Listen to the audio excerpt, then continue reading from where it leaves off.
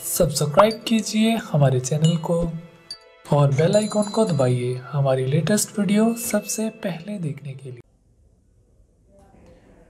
मैं राजीव शर्मा मेरे ग्लैंड में स्टोन था 4.5 पॉइंट mm की, जो डॉक्टर मनीष प्रकाश जी ने इंडोस्कोपी द्वारा मेरा ऑपरेशन किया जिससे आज मेरा ये बहुत सही है। और मैं इनका बहुत बहुत धन्यवाद करता हूँ, इनकी टीम का।